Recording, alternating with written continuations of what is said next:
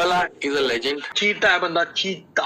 इस वक्त एक बड़ी खबर आपको बता देते हैं। पंजाबी सिंगर सिद्धू मूसेवाला की गोली मारकर हत्या कर दी गई है। सो अभी तक तो आप सभी को पता चल गया होगा कि सिद्धू मूसेवाला अब हमारे बीच नहीं रहे। कल शाम उनकी गोली मार के हत्या कर दी गई थी जिसपे काफ़ी लोगों के रिएक्शन आए हैं। हनी पाजी का भी कुछ ऐसा रिएक्शन था जिसमें उन्होंने लिखा था शॉकिंग सभी लोग बहुत ही ज़्यादा दुखी है चाहे वो सिद्धू मूसेवाला के फ़ैन हो या फिर हनी पाजी के। सो कुछ ऐसे मोमेंट्स हैं जिनमें योयो हनी सिंह पाजी ने सिद्धू मूसेवाला को काफी बार प्रेस किया है तो आप एक एक करके वो देख लीजिए Sidhu Moosewala is a legend of this decade and he gonna make us all Punjabi proud big way ਹਲੇ ਵੀ ਬਹੁਤ ਮਾਣ ਹੈ ਸਾਨੂੰ ਸਿੱਧੂ मूसेवाला ਤੇ ਤੇ ਉਹਦੀ ਜਿਹੜੀ उसकी जो सादगी है ना लड़के की जो सिंपलिसिटी है और उसमें ना छल कपट नहीं है मैं मिला नहीं हूँ मेरी एक बारी बात हुई है मिला नहीं हुआ अभी मैं उससे लेकिन इतना तो आपको पता लग जाता है इंटरव्यूज देख के या बंदे को स्टेज पे देख के, गानों की बात अलग है।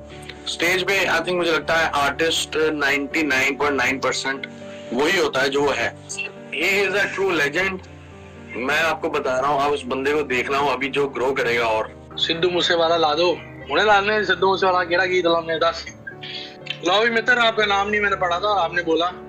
तो ही क्या कि सिद्धू मूसेवाला गाना ला दो सिद्धू मूसेवाला